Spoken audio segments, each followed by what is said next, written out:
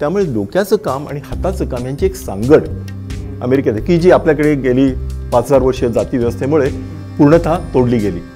त्यामुळे गेल्या तीन हजार वर्षात इथं एकही मोठा शोध लागला नाही. बुद्धिमत्तेच्या बाबतीत माझ्या मते भारतीय तरुण हा एक काकणभर अमेरिकन तरुणापेक्षा जास्त सरस आहे. लोक म्हणतात सोळावं वरीस धोक्याचं. माझ्या मते सोळावं वरीस मोक्याचं.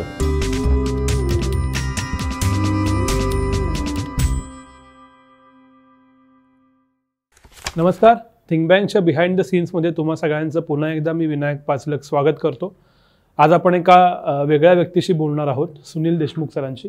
सर तुमचं मनापासून स्वागत आमच्या चॅनेलवरती थँक्यू सुनील देशमुख सरांची महाराष्ट्राला ओळख महाराष्ट्र फाउंडेशनचे संस्थापक म्हणून आहे. पण त्यांची मूळ ओळख ही वॉल स्ट्रीटवरचे मराठी उद्योजक अशी आहे. गेले जवळपास पाच दश पाच दशकं ते अमेरिकेत आहेत. जवळ जवळ. आणि त्यातला कित्येक त्यातला बहुतांश कालावधी पहिल्या तीस तीन दशकातला त्यांनी वेगवेगळ्या कंपन्यांमध्ये वेगवेगळ्या पोझिशन्सवरती काम करताना घालवलेलं आहे. त्याच्यामध्ये गोल्डमन सॅच आहे पेट्रोलियम क्षेत्रातल्या कंपन्या आहेत. आणि कमोडिटी ट्रेडिंग या विषयामधले ते एक्सपर्ट होते आहेत.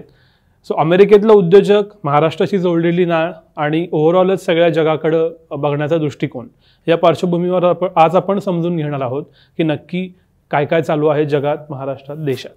सर पहिला प्रश्न माझा अगदी स्वाभाविक आहे. मराठी मध्यमवर्गीय माणूस हा शक्यतो रिस्क घेत नाही. हो. आणि तुम्ही कमोडिटी ट्रेडिंग म्हणजे रिस्कचं ज्याला काय म्हणूया अप्पर हो. थ्रेशोल्ड जिथं आहे त्याच्यात काम करत होता. हा सगळा प्रवास कसा झाला? म्हणजे आम्ही अत्यंत म्हणजे गरीब परिस्थितीनं सांगलीतनं आलेलो तेव्हा आम्ही त्यावेळेला एस एस सीला बोर्डात चौथा आलो होतो. त्यामुळे हुशार विद्यार्थी असा एक शिक्का कपाळावर लागला. आणि मला त्या काळात वकील व्हायचं होतं आणि माझा थोडा कवी मनाचा असा बाणा होता. पण जी वस्तुस्थिती असते वडील म्हटले की आप हे आमच्या वडिलांचे एक्झॅक्ट शब्द की आपल्याकडे दातावर मारायला एक नवा पैसा नाही. तुझी रोजीरोटी तू कमावली पाहिजे. तेव्हा तू सरळ इंजिनियर किंवा डॉक्टर हो. म्हणजे त्या काळात वकील माशा मारतात असं वडिलांचं म्हणणं होतं. तर त्यामुळे या म्हणतात रियालिटी चेक म्हणतात त्याला. त्यामुळे मग मी शेवटी मला रक्त वगैरे बघवत नाही त्यामुळे मी इंजिनियर झालो. तिथंही मेकॅनिकल इंजिनियरपेक्षा केमिकल इंजिनिअरला चार पन्नास रुपये महिना पगार जास्त मिळतं अशी अफवा होती त्यामुळे आम्ही केमिकल इंजिनिअर इंजिनिअरिंगला गेलो. आणि पुढे ती अख्खी यू डी सी टी वगैरे आय आय टीच्या सगळ्या बॅचेसच्या बॅचेस गाडी बोगद्यातनं इकडून तिकडे जशी येते तशी मुंबईला आज जाऊन अमेरिकेला बाहेर यायचं तसे म्हणजे तोपर्यंत सगळं असं प्रवाहपतितासारखं जीवन होतं. परंतु एन डी पाटलांचा संदेश त्या काळात म्हणजे विद्यार्थी दशेत की बाबा रे ते म्हटले तू मळलेल्या वाटेनं जाऊ नको. ती वाट नेईल तिथं तुला जायला लागेल. तू तुझी वाट काढ खड खड्डे असतील खळगे असतील पण तुला जायचं तिथं जाईल. हे एक मनात ठसलेलं. आणि माझं एक स्पिरिट होतं की करके दिखांगे काहीतरी वेगळं करायचं. त्यामुळे रिस्क म्हटलं की म्हणजे मराठी माणसाने रिस्क किंवा जोखीम म्हणतो त्याचा किती वेळा वेळा भोपळ्याचा आहे ते आपल्याला माहिती आहे. तरीसुद्धा तिथं गेल्यावर मी masters in chemical engineering M B A केलं पण त्यानंतर ते सोडून लॉ केलं. ह्याचं कारण असं की अमेरिका ते म्हणतात की America of the people by the people for the people actually it is of the lawyers by the lawyers and for the lawyers अमेरिकेचं सारं जीवन हे लॉयर लोकांच्या लॉ म्हणजे चांगल्या दृष्टीने वेढलेलं आहे. So let's join the winning team म्हणून मी धाडस करून उत्तम एक्सॉन कंपनीची नोकरी सोडून लॉ स्कूलमध्ये गेलो. आणि लॉ केलं. आणि त्याचा मला फार ह्या कॉम्बिनेशनचा मला फार मोठा फायदा तिथं झाला. आणि हे सगळं सोडून पुन्हा या कॉम्बिनेशनमुळे गोल्डमन सॅक्स नावाची जी कंपनी आहे जगा जगातली टॉपची कमॉडिटी म्हणजे सर्वच प्रकारचे वॉल स्ट्रीट फर्म आहे. त्यांनी मला कमॉडिटी ट्रेडिस ट्रेडिंगसाठी बोलवलं.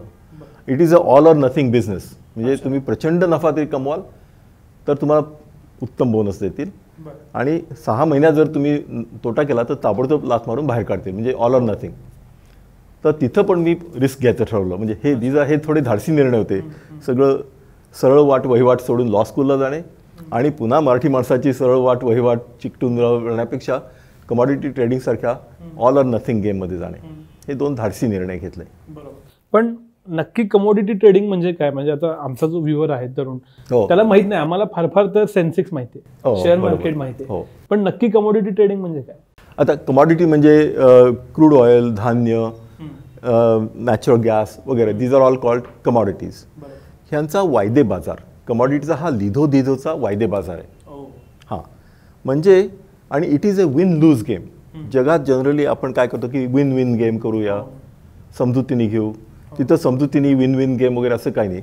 For me to win you have to lose म्हणजे फॉर मी जिंकण्यासाठी दुसरा कोणतरी हरला पाहिजे. आणि तुमच्याशी जो कमॉडिटी ट्रेडिंग करतो तो पण असा हार्वर्ड एम बी ए वगैरे प्रचंड वेळ काम करणारा हुशार मनुष्य. तुम्ही जिंकण्यासाठी त्या हार्वर्ड एम बी एला तुम्हाला हरवायला हरवायला लागतं. तर तशी इट्स अ टॉल ऑर्डर पण ह्या कंपन्या प्रचंड बिलियन्स ऑफ डॉलर्स त्याच्यावरती बेट करतात. आणि so consequences are also big तुम्ही if you win you gonna win hundred of millions of dollars and consequently lose आता लकीली हा म्हणजे माझा दैव वगैरे याच्यावर विश्वास नाही त्यामुळे कर्तृत्वानी म्हणा आणि तर त्यात मला बऱ्यापैकी यश आलं. आणि ह्याचे मग म्हणजे सामान्य मनुष्य जे आयुष्यभर कमवेल तर तुम्ही एक या दोन वर्षात कमवता. हा. कमॉडिटी ट्रेडिंगचा आणखी एक मोठा फार व्हॉलिटिलिटी आहे. पण it's a zero sum game for you to win somebody else has to lose पण तुम्ही जेव्हा एक जिंकण्यासाठी दुसरा हरावा असं म्हणता भारतीय जडणघडण अशी नसती. त्याचा तुम्हीच उल्लेख केला की सामंजस्यानं तू पण थोडं मी पण थोडं. तुमचं जी अपब्रिंगिंग आहे किंवा इथिक्स आहे याचा हा व्यवसाय करताना त्रास नाही झाला किंवा अडथळा नाही आला? म्हणजे ह्याचे हे दोन कप्पे आहेत. हा व्यवसाय आहे त्या व्यवसायाचे ते रूल्स आहेत. त्या व्यवसायातनं येणाऱ्या पैशांनी किंवा तुमच्या जे भौतिक यश मिळवाल त्याचं काय करायचं? हा तुमच्या वैयक्तिक आयुष्याच्या आणि फिलॉसॉफीचा दुसरा टप्पा आहे. म्हणजे two watertight compartments and you can ride both horses at the same time असं म्हणतात. व्यवसायात तुम्ही व्यवसायासारखं वागा आणि त्या येणाऱ्या पैशाचं काय करायचं हा तुमचा पर्सनल डिसिजन आहे आणि त्याचं मी समाजासाठी बऱ्यापैकी करतोय तुम्हाला माहितीच आहे करेक्ट. म्हणजे मला मिळणाऱ्या पैशापैकी बरेचसे पैसे. हे मी सामाजिक कार्याला देऊन. माझं जे सामाजिक कर्तव्य आहे आणि अमेरिका ही आमची कर्मभूमी आहे आणि ही आमची जन्मभूमी आहे म्हणजे दोन्ही ठिकाणी मी देणं लागतो. तिथले बहुतेक आमचे आय बंधू फक्त भारत भारत म्हणजे बॅकवर्ड लुकिंग असतात माझं म्हणणं आमची मुलं तिथं वाढली ती तिथंच राहणार आहेत. त्यांची ही जन्मभूमी आहे. तिथं आम्ही देणं लागतो. ते पण केलं पाहिजे. म्हणून मी अमेरिकेत पर्यावरणाचं काम मोठ्या प्रमाणात करतो. आणि हे तर आपली जन्मभूमी. तिथं देणं लागतो. तिथं मी म्हणजे विकर सेक्शन्स ऑफ सोसायटी त्यासाठी समाज परिवर्तनाचं काम करतो. आणि ते का करतो हे आपण नंतर बोलूच. मला फिलॉन्थ्रॉफीकडे नंतरच्या टप्प्यात यायचं आहे पण आता मला हा एक महत्त्वाचा प्रश्न तुम्हाला विचारायचा आहे की पन्नास वर्षापूर्वी तुम्ही असं म्हणालात की बोगद्यात गाडी जाती आणि ती अमेरिकेला जाते. आज पाच दशकं झाली. माझ्या बॅचची ऐंशी टक्के मुलं आजही अमेरिकेत आहे म्हणजे तो बोगदा अजून बदललेला नाही कुठं त्याला खड्डा पडलेला नाही की काय नाही. असं काय आहे अमेरिकेत म्हणून या सगळ्या तरुणाईला तिथं जावं असं वाटत असं दोन गोष्टी आहेत. सगळेजण म्हणतात ऑपॉर्च्युनिटी आहे तिथं पैसे मिळतात आणि हे खरं आहे. परंतु पैसे म्हणा तर करिअर ह्याच्या पलीकडची फार महत्त्वाची गोष्ट इज वैयक्तिक स्वातंत्र्य. म्हणजे त्याला फ्रीडम टू ब्रीद फ्री असं आम्ही म्हणतो. स्वतंत्र आचार आणि विचाराचे जे एक स्वातंत्र्य आहे ते अनपॅरल आहे. कारण नुसते पैसे असते ना तर हे सगळे लोक सौदी अरेबियात गेले सी कारण अमेरिकेपेक्षा प्रोफेशनलला सौदी अरेबियात पैसा जास्त लागतो. तिथं कोणाची जाण्यासाठी लाईन लागलेली तू बघतोस का? नाही. म्हणजे त्या भौतिक यश आणि आचार विचाराचं स्वातंत्र्य. आणि भारतासारख्या तर रूढीबद्ध परंपराबद्ध आणि अशा संस्कृतीची माणसं कोंडलेली राहतात. यस्सर यस्सर करायला लागतं काय काय करायला लागतं हे तुला माहिती आहेच. ह्यातलं काही तिथं करायला लागत नाही आणि गुणवत्तेला बऱ्यापैकी वाव आहे. हे फ्रीडम जे आहे आचार विचाराचं that is equally important as money ह्यामुळेच तो तरुणाई म्हणा तिथं आकर्षित होते. पण खरंच भारतातले तरुण जेव्हा तिकडे जातात तेव्हा ते हे सगळं एक्सप्लोर करतात? हां आता बरं का म्हणजे तुम्ही काय म्हणता ते घोडं you can take the horse to the water cannot make him drink याच्यात एक म्हणजे माझं ऑब्झर्वेशन की दुर्दैवाची अशी गोष्ट आहे की यातले बरेचसे तरुण हे इथल्या टिपिकल मध्यमवर्गीय मानसिकता येतात. आणि त्या मानसिकतेच्या बबलमध्येच ते तिथं राहतात. त्यातल्या ह्याला अपवाद भरपूर आहे ना मात्र म्हणजे असं काही सरसकट विधान कोणी करू नये. सगळ्या गोष्टींना अपवाद असतात. परंतु ऑब्झर्वेशन असं की बहुतेक सगळं येतात ते एकाच अपार्टमेंट बिल्डिंगमध्ये राहतात त्यांच्यात ते झी टी व्ही चॅनल मग म्हणजे इथं दादरला बडोद्याला सदाशिव पेठेत राहिल्यासारखेच त्यातले कित्येक जण तिथे राहतात दोन तीन वर्ष राहतात. एकाही अमेरिकन माणसाशी मैत्री दोस्ती करत नाहीत ते जीवन काय आहे ते कसे वागतात विचार ह्याची काही क्युरियासिटी नसते. म्हणजे मला खेद वाटतो की असं एवढी सुंदर ऑपॉर्च्युनिटीला एक्सप्लोर त्यातलं निरक्षीर विवेक बुद्धीने तुम्हाला घ्यायचं ते घ्या नसेल तर नका. पण काय आहे ते तरी बघा. पण ह्यातल्या निम्म्या तरी लोकांची अशी मानसिकता आणि त्यांना अभिमान वाटतो की आम्ही कसे तिथं अगदी भारतासारख्याच जगतो आणि एकाही अमेरिकन माणसाशी कसं आम्ही बोलत नाही. याचं अभिमानाने सांगणारी कित्येक तरुण आहेत. म्हणजे ही मानसिकता बदलली पाहिजे. आता आम्ही यांच्याकडून अमेरिका समजून घेतो. आमचे मित्र ओळखीचे. आणि ती अशी कंपार्टमेंटमधून समजती. त्यांनी जे काही बघितलं नायगरा न्यूयॉर्क वगैरे. मला तुम्हाला विचारायचं की पन्नास वर्ष तुम्ही अमेरिकेत आहात. तुम्हाला अमेरिकेनं काय दिलं आणि तुमच्या दृष्टीने नक्की अमेरिका म्हणजे काय? म्हणजे मला अमेरिकेने बरंच काही दिलं आणि त्याच्यातला मी म्हटल्याप्रमाणे सर्वात महत्त्वाचं म्हणजे आचार विचार स्वातंत्र्य. अमेरिकेत चूक करायचं पण स्वातंत्र्य आहे. म्हणजे तिथले तरुण लोक आहेत ना ते धडपड करतात ते स्टार्टअप काढतात ते काहीतरी वेगळा विचार करतात. त्यातले नव्वद टक्के स्टार्टअप फेल होतात ते तुला माहिती आहे. किंवा पंच्याण्णव टक्के. म्हणजे तिथं फेल्युअरचं पण स्वातंत्र्य आहे. फेल्युअरला सुद्धा मान्य आहे. म्हणजे आता तुम्हाला माहिती आहे की लिंकन जो प्रेसिडेंट झाला तो एकवीस वेळा निवडणुकीला उभा राहिला आणि बावीसाव्या वर्षी बावीसाव्या वेळेला तो निवडून आला. चिकाटी सोडली नाही. म्हणजे फेल्युअरला दुसरी गोष्ट म्हणजे तिथं श्रमाला प्रतिष्ठा आहे. हाताने काम करायला प्रतिष्ठा आहे. आणि तिथं बुद्धी आणि हाताने काम करण्याची एक सांगड आहे. त्यामुळे तिथं शोध लागतात. म्हणजे त्याला आम्ही two guys in the garage असं म्हणतो. आपल्या गॅरेजमध्ये दोन तरुण मुलं काहीतरी टिंकरिंग करत असतात थोडं यंत्राशी मोटरशी काहीतरी स्वतःची मोटर स्वतः दुरुस्त करतात वगैरे वगैरे. त्यामुळे डोक्याचं काम आणि हाताचं काम यांची एक सांगड अमेरिकेत आहे की जी आपल्याकडे गेली पाच हजार वर्ष जाती व्यवस्थेमुळे पूर्णतः तोडली गेली. त्यामुळे गेल्या तीन हजार वर्षात इथं एकही मोठा शोध लागला नाही.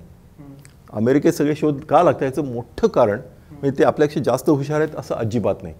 पण तिथं बुद्धीचं काम आणि हाताचं काम यांची सांगड आहे श्रमाला प्रतिष्ठा आहे. हे त्याचं फार मोठं वैशिष्ट्य आहे. क्युरियस क्युरियस सगळे लोक क्युरियस असतात. सगळे लोक काहीतरी वेगळा विचार करत असतात. वेगळा विचार करण्याचं स्वातंत्र्य आहे. रूढीबद्धता परंपरा ह्यांचं अजिबात नवीन देश आहे. त्यामुळे तिथं रूढीबद्धता परंपरा नाहीच आहे. ह्या बेड्या तिथं नाही आहेत. त्यामुळे त्यांचं हे अवकाश खुलं आहे. विचार करण्याचं आचार करण्याचं स्वातंत्र्य हा खरोखरी त्याचा अमेरिकेचा गाभा आहे. त्याच्या यशाचा गमक. हे आचार विचार स्वातंत्र्य आहे. त्यांच्याकडे पैसे आहेत असं म्हणतात त्यांच्याकडे अमुक आहे काही नाही. त्याच्या पलीकडचं आचार विचार स्वातंत्र्याचं त्यामुळे तिथं सगळे शोध लागतात म्हणा. आणि आपण मगाशी बोललो त्याप्रमाणे सारं जग जगाची जीवन पद्धती आमूलाग्र बदलली. असे सारे शोध. म्हणजे तुम्ही फेसबुक बघा इंस्टाग्राम बघा तर जे ते अमुक तमुक हे सगळे तुम्ही ज्याशिवाय तुमचं आज जीवन चालत नाही हे सारे शोध हे वय वर्षे अठराच्या खालच्या अमेरिकन तरुणांनी लावले आहेत. पण असं म्हणतो की भारतीय मनुष्य सुद्धा हुशार आहे. भारतीय तरुण प्रत्येक तरुणाच्यात एनर्जी असते. हे अमेरिकन तरुण अठराव्या वर्ष शोध लावतात आणि आमचा भारतातला तरुण अठराव्या वर्षे कुठतरी काहीतरी बेसिक करत असतो. हा फरक कशामुळे पडत असेल? हा माझ्यामध्ये मानसिकतेचा फरक आहे. म्हणजे दोन गोष्टी की तुमचा अँड्रॉइड फोन हा न्यूयॉर्क मुंबई आणि पुणे किंवा सांगलीला तीच इन्फॉर्मेशन देतो. म्हणजे इन्फॉर्मेशन गॅप पूर्वीची इज गॉन म्हणजे लेव्हल प्लेईंग फील्ड झालेलं आहे. एक. दुसरी गोष्ट म्हणजे बुद्धिमत्तेचा फरक आहे का? तर माझ्या मते आपली पोरं तशी स्ट्रीट स्मार्ट आणि हुशार असतात. म्हणजे बुद्धिमत्तेच्या बाबतीत माझ्या मते भारतीय तरुण हा एक काकणभर अमेरिकन तरुणापेक्षा जास्त सरस आहे. म्हणजे बुद्धिमत्तेची गॅप नाही टेक्नॉलॉजीची गॅप नाही इन्फॉर्मेशनची गॅप नाही पण परफॉर्मन्सची महाप्रचंड तफावत. मी म्हटल्याप्रमाणे जग बदलणारे सारे शोध फक्त अमेरिकन तरुण लावतो. आणि त्याच वेळेला आपला तरुण हा कुठल्यातरी कॉल सेंटरमध्ये ती पोपटपंची करणारी नोकरी कुठे मिळेल याचा विचार करतो. ह्याच्यात मानसिकतेचा फरक आहे. आणि ती काय मानसिकता आहे हे जर तुम्ही जाणून घेतलं तर ती यशाची गुरुकिल्ली होईल. त्याविषयी आपल्याला बो मला अधिक बोलायला आवडेल. पण तुम्ही आता मानसिकतेचा उल्लेख करताय. ही मानसिकता नक्की काय आहे आणि ती घडती कशा आता तरुणांचा तिथल्या अमेरिकेचा तुम्ही सर्वे घेतला तर तो बऱ्यापैकी ग्लोबल मेंटॅलिटीचा आहे. एक. नंबर टू तो बऱ्यापैकी त्याला लिबरल किंवा प्रोग्रेसिव्ह किंवा पुरोगामी मनोवृत्तीचा आहे. तिथं स्त्री पुरुष समानता हे अगदी कडकरित्या अंमलात आणलं जातं डेली नुसती पोपटपंची किंवा तोंडपूजा नव्हे. They really believe in it okay gender equality म्हणतो त्याला. बऱ्यापैकी ते सोशली कॉन्शियस तिथले तरुण व्हॉलंटिअरिंग वगैरे मोठ्या प्रमाणात करतात. तिथल्या सर्वेक्षणाप्रमाणे तिथले सत्तर टक्के तरुण हे निरीश्वरवादी आहेत. सत्तर टक्के अमेरिकन तरुण हे निरीश्वरवादी आहेत. आणि त्यामुळे ते open minded accepting global in outlook very progressive gender equality हे त अमेरिकन तरुणाचे गुण आहेत. निरनिराळ्या सर्वेक्षणातनं ते आले आहेत म्हणजे त्यांची मानसिकता आणि त्यांचं विचारसरणी आणि आचारसरणी ही पूर्णतः पुरोगामी आहे. म्हणजे बुद्धी वगैरे आणि संधी सगळ्यांना सारखीच आहे आपण बघितलं. ह्याच्या पलीकडचं आहे जेव्हा असं तुमचं मन खुलं असतं अशा खुल्या मनाचीच माणसं इनोव्हेशन आणि अ, म्हणजे नवीन शोध लावू शकतात नवीन विचार करू शकतात. ही इकॉनॉमी नवीन आहे. ती आता हमेण्या उचलाची आणि मसल पॉवरची इकॉनॉमी राहिलेली नाही. This is a creativity based economy this is a innovation based economy तर इनोव्हेशन आणि क्रिएटिव्हिटी कोण करू शकतो? ज्याचं मन उदात्त आहे ज्याचं मन खुलं आहे. नव्या विचारांना नव्या आचारांना नव्या लोकांना आणि ॲक्सेप्टिंग आहे असा अशा मानसिकतेची लोकच शोध लावू शकतात. अशी पुरोगामी मानसिकता हे त्यांच्या यशाचं गमक आहे. इन ॲडिशन टू बुद्धिमत्ता वगैरे वगैरे ही आपल्याकडे अजिबात कमी नाही. माझ्या मते म्हणजे माझं ऑब्झर्वेशन आपला भारतीय तरुण बघितला तर अजून तो बॅकवर्ड लुकिंग आहे. अमेरिकन तरुण हा नेहमी फॉरवर्ड लुकिंग असतो. आपले तरुण आठशे वर्षापूर्वी काय झालं चारशे वर्षापूर्वी काय झालं काय झालं? वैश्विक दृष्टिकोन नाही. म्हणजे गल्लीतला दादा काय म्हटला? सारेगममध्ये काय झालं? हे हे अमुक राजकीय नेता काय म्हणा ह्याच्यातच त्यांची मानसिकता आणि आचरण अडकून पडलेलं आहे. तो बऱ्यापैकी रूढी आणि परंपरा गुंतलेला आहे. म्हणजे जातीचा मोर्चा निघाले दहा लाख तरुण देतात. एखाद्या मुलीवर बलात्कार झाला तर त्याचा प्रतिकार करायला दोन तरुणसुद्धा बाहेर येत नाहीत. तेव्हा बॅकवर्ड लुकिंग मेंटॅलिटी थोडी सनातनी किंवा रूढी परंपराबद्ध मेंटॅलिटी म्हणजे क्लोज माइंडेडनेस आणि मग त्यामुळे जाती उपजाती धर्म याच्यावर इतरांचा द्वेष करणे वगैरे ह्याच्यात हे जे काही विष कालवलं जातं त्यात त्यांची मानसिकता अडकली आहे. असे क्लोज माइंडेड आणि अशा मानसिकतेचे लोक कधी नवीन वैश्विक विचार करू शकत नाही ते क्रिएटिव्ह आणि असे होऊ शकत नाही त्यांच्या हातनं नवीन शोध लागणे यासाठी मन खुलं लागतं. सगळ्यांना ॲक्सेप्ट करण्याचा विचार अशी मानसिकता लागते. त्याशिवाय ते नवीन शोध लावू शकणार नाहीत नवी न्यू इकॉनॉमी क्रिएट करू शकणार त्यामुळे ह्या न्यू इकॉनॉमीमध्ये त्यांना ते फेल होतात. मग पोपटपंची करणारे जॉब लो एंड जॉब शोधणे. त्या भौतिक यशाचं पैसे मिळवण्याचं आणि आनंदाचं गमक हे पुरोगामी मानसिकता अमेरिकन तरुणाची यात आहे. आणि ते जर आपण यशाचं गमक आत्मसात केलं नाही आणि पुन्हा जाती उपजाती धर्म यांच्या द्वेषात आपण अडकून राहिलो तर हे तरुण नक्की फेल होतील याची मी गॅरंटी देतो. तुम्ही आता हे सगळे थॉट्स सांगितलेत पण मला अजून एक प्रश्न असा पडला की कदाचित असं आहे का की भारतीय मानसिकतेत पैसा कमावणं म्हणजे वाईट किंवा भरपूर पैसे कमावतोय म्हणजे यानं काहीतरी गैरमार्गानं किंवा राजकारण्यांशी लागेबांधे करून म्हणजे we had that doubt in mind stigma हां when somebody earns a lot of money अमेरिकेत मात्र तसं नाही म्हणून हे होतं का या मेंटॅलिटीचा फरकाचा काही फरक पडतो? तुझं म्हणणं अगदी बरोबर आहे की पैसा मिळाला म्हणजे काहीतरी चॅप्टरगिरी केलंस ना त्याशिवाय तो पैसा मिळालाच कसा? हे एक. आता न्यू इकॉनॉमीमध्ये कमी होते फॉर एक्झाम्पल अजिम प्रेमजी म्हणा किंवा नारायण मूर्ती किंवा शिव नाडर यांच्याविषयी असं कोणी बोलत नाही. न्यू इकॉनॉमीमध्ये ठीक आहे पण ओल्ड इकॉनॉमीमध्ये म्हणतो की बा अमुक तमुक म्हणजे आता यांची कोणाची नावं घेणं नाही पण यांनी कसा ला राजकीय लागेबांध्यांनी कॉन्ट्रॅक्ट मिळवली अमुक तमुक यामुळे हे जरा फरक आहे. त्यामुळे गोईंग फॉरवर्ड हे प्रमाण कमी होईल.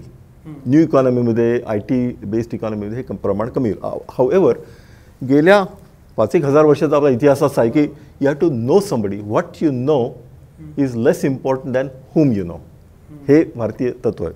अमेरिकेत ते अजिबात नाही. पहिली गोष्ट म्हणजे तरुणांचा दे देश आहे. सुंदर पिचाई पहि पस्तीसाव्या वर्षी गुगलचा आणि बाकी सगळी उदाहरणं तुम्हाला माहिती आहेच. त्यामुळे एक तरुणांचा देश तरुण मानसिकता आणि ओपननेस आणि फेअरनेस फेअरनेस हा शब्द लक्षात घ्या. अमेरिकेत फेअरनेस या शब्दाला प्रचंड महत्त्व आहे आणि ते आचरणात आणण्याला आमची नाती म्हणतो ओ इट्स नॉट फेअर म्हणजे आमच्या पाच वर्षाच्या नातीला सुद्धा दॅट्स नॉट फेअर असं ती म्हणते. म्हणजे फेअरनेस हा अमेरिकेच्या सांस्कृतिक सामाजिक जीवनाचा आत्मा आहे. व्हॉट इज फेअर आणि न्याय्य असलं पाहिजे खुलं असलं पाहिजे ही अमेरिकेची नुसती मानसिकता नसून ते आचरणात आणलं जातं. आपल्याकडे फेअरनेस हा फार कमी म्हणजे पूर्वीच्या जातीव्यवस्थेपासून फेअरनेस हा आपल्याकडे कधीच प्रॅक्टिस केला गेला नाही. त्यातला हा मोठा फरक आहे. तुम्ही आता बोलता बोलता सुंदर पिचाईचा उल्लेख केला सत्यानाडेला सत्या नाडेला असेल सुंदर पिचाई असेल ॲडॉपचा सीईओ असेल असे बरेचसे सीईओ अमेरिकी मोठ्या कंपन्यांना म्हणजे बिग जायंट्सना टॉप टेन टॉप ट्वेंटीमधल्या त्यांच्या सर्वोच्चपदी एवढं सगळं असूनही भारतीय माणूस किंवा ज्याचं नुसतं भारतात जन्मलेलं नव्हे ही तर भारतात अंडर ग्रॅज्युएटपर्यंत शिकलेली आणि मग पुढं आलेली मुलं आता मोठी झाली. ह्याचं अट्रॅक्शन काय? म्हणजे तिथं टॅलेंटला किंमत आहे गुणवत्तेला वाव आहे. त्यामुळे ज्याच्या अंगी गुणवत्ता आहे ते आपोआपच स्वीकारतात. हे एक. आणि आपलं बेसिकली सगळं हे म्हणजे हा जो आय टीचा वर्ग गेला तो सगळा इंटेलेक्च्युअल वर्ग गेला आहे. म्हणजे इंटेलिजन्स इंटेलिजन्सशी हा गेलेला आहे. त्यामुळे ती मुलं हुशार असतात. अतिशय म्हणजे कामसू असतात आणि त्यांच्या कर्तृत्वाला तिथं वाव मिळतो. हे कॉम्बिनेशन आहे. आणि त्यामुळे तिथं रंग जात गो म्हणजे धर्म वगैरे याच्या पलीकडे जे जाणारं फेअरनेस प्रिन्सिपल आहे मेरिट विन्स असं आहे. ह्याच्यात फक्त तुला एक सांगावंसं वाटेल की आपण कायम आय टीवरती फोकस करतो. कारण आपल्याला तेवढाच एक क्षेत्र माहिती आहे. परंतु अमेरिकेचं समाज जीवन बदलणारे असे तीन चार नावं तुला सांगतो. उदाहरणार्थ अमेरिकेचं पूर्ण समाज जीवन किंवा पॉलिटिकल डिस्कोर्स ज्यांनी डिफाईन केलं अमेरिकेत तासाला पंधरा डॉलर्स मिनिमम वेज असलं पाहिजे हे आता सर्वमान्य झालेलं आहे. ते पाच वर्षापूर्वी कोणी केलं? तर पुण्याची क्षमा सावंत. ही नावाची मुलगी तिथं गेली आणि ती आता सिॲटलमध्ये ती शी इज इन पॉलिटिकल ते.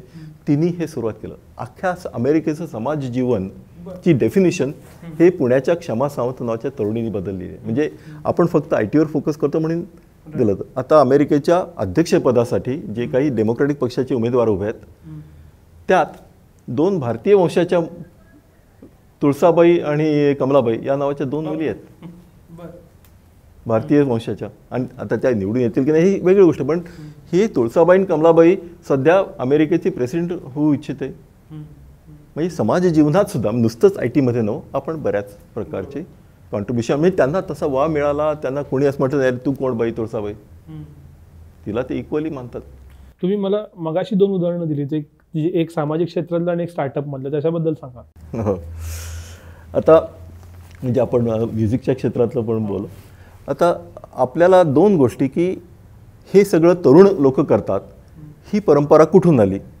तर आपल्या तरुणांनी हे लक्षात घेतलं की तरुणांनी जग बदलावं ही ॲक्च्युली नुसतीच भारतातली नव्हे तर ही महाराष्ट्राची खासियत आहे. शिवाजी महाराजांनी सोळाव्या वर्षी काय केलं? लोक म्हणतात सोळावं वरीस धोक्याचं. माझ्या मते सोळावं वरीस मोक्याचं. सोळाव्या वर्षी शिवाजी महाराजांनी क्रांती केली. सोळाव्या वर्षांनी ज्ञानेश्वर वर्षी ज्ञानेश्वरांनी जगाच्या जगाला तत्त्वज्ञान सांगितलं. तर ही भारतीय परंपरा आहे. परंतु भूतकाळात अडकून बसणे हे बरोबर नाही. सध्या काय चालू आहे? तर महाराष्ट्रातली म्हणजे मराठी सर्वात श्रीमंत मुलगी जगात सर्वात श्रीमंत मराठी मुलगी ज्याचं म्हणजे वडलोपार्जित नव्हे तर स्वतःच्या कर्तृत्वावर पैसा मिळवली. नेहा नारखेडे नावाची तीस वर्षाची मुलगी आहे. तिने तीन वर्षात तिची डेटा प्रोसेसिंग कंपनी करून वीस हजार कोटी रुपयाची ती कंपनी झाली. म्हणजे हे मराठी माणूस करू शकतो. आणि आणखी एक मजा सांगायला म्हणजे इतर क्षेत्रातही म्हणून मी कायम आय टी आय टीवर भर नसावा म्हणून सांगतो की आपल्याला म्युझिकच्या क्षेत्रात बीटल्स हे नाव माहिती आहे. बीटल्स हा सर्वात जगातला थोर मोठा ग्रुप आणि त्याच्या बीटल्सच्या खालोखाल जगप्रसिद्ध असा म्युझिशियन म्हणजे रविशंकर आणि झाकीर हुसेन यांच्यापेक्षा शंभर पटीने जगाला जास्त माहीत असलेला म्युझिशियन हा नुसता भारतीय नसून सातारचा मराठी मुलगा आहे. हे सातारच्या लोकांना सुद्धा माहीत असेल. त्याचं नाव आहे फरुख बलसारा. त्यांनी क्वीन नावाचा ग्रुप काढला आणि त्याचं जे we will we will rock you हे जे गाणं आहे अमेरिकेतल्या कुठल्याही प्रोग्रामची सुरुवात त्या गाण्याने होते. म्हणजे इतका तो फेमस हा सातारचा मराठी मुलगा जगाच्या ज- जे म्युझिक इंडस्ट्रीत सर्वात टॉपला गेला हे आपल्याला माहीत नाही. आणि ते कि किती वर्षी? वय वर्षे पंचवीस. जे मराठी तरुणांनी नवी क्षितिज विकासावीत आणि साऱ्या जगभर आपला झेंडा चढवावा ही उदाहरणं म्हणून मी मुद्दाम तुम्हाला देत आहे. ही आपण पण करू शकतो. आपली त्यासाठी मानसिकता बदलणे आवश्यक ती वैश्विक होणे आवश्यक आहे. ती ॲक्सेप्टिंग ओपन आणि रूढी धर्म जाती याच्या पलीकडे गेली असली म्हणजेच पुरोगामी असली तर तुम्ही पण हे करू शकाल. ह्या सगळ्या लोकांना भारतात ब्रेन ड्रेन म्हटलं जातं. आणि एक क्रेज आली की तिकडनं जे लोक परत येतात त्यांना ब्रेन गेन म्हणतात भारताच्या दृष्टीने खरंच हे ब्रेन ड्रेन आहेत? नाही नाही अजिबात नाही. पहिली गोष्ट म्हणजे आपल्याकडे ब्रेन पॉवरला अजिबात तुटवडा नाही. म्हणजे माझ्या आणि हे मी आत्ता बोलतोय म्हणून सांगते पण माझं सिन्सिअर ऑब्झर्वेशन असं आहे की भारतीय तरुण हा काकणभर बुद्धिमत्तेने आणि जनरल स्मार्टनेसमध्ये अमेरिकन तरुणाच्या पुढे आहे. हे. माझं प्रामाणिक मत आहे. म्हणजे तोंड देखलं बोलायची अमेरिकेत पद्धत नाही. त्यामुळे मी आणि मी आयुष्यात कधी तोंड देखलं बोललेलं नाही. त्यामुळे टू लेट टू स्टार्ट तेव्हा हे मी सिन्सिअरली सांगतो की आपल्याकडे भरपूर ब्रेन पॉवर आहे. त्यात थोडी इकडून तिकडे गेली तरी काही फरक पडत नाही. म्हणजे दिल्लीत कावळे किती? इकडून तिकडे गेले तरी शेवटी तेवढीच असतं. तसं. तेव्हा बुद्धिमत्तेचा हा प्रकार नाही आणि ज्यांना करिअर चेस करावं त्यांनी जरूर आपण हे विश्वची माझे घर म्हणतो आणि मग मी सदाशिव पेठ सोडणार नाही असं का म्हणायचं? ज्याला जायचं तिथं जाऊ दे. त्याला भौतिक यश जरूर मिळवावं. You should definitely chase money you should definitely chase career त्यानंतर काय करायचं? किंवा त्या बरोबरीने काय करायचं? हा एक प्रश्न आहे. आणि त्या बाबतीत मग आपल्या तरुणांनी जरा जास्त विचार केला पाहिजे. थिंक बँकचे सर्व एपिसोड आता ऐका स्टोरी टेल या ॲपवर तीस दिवसांचे मोफत सबस्क्रिप्शन मिळवण्यासाठी डिस्क्रिप्शनमधील W W W dot Storytel dot com slash think bank या लिंकला भेट द्या.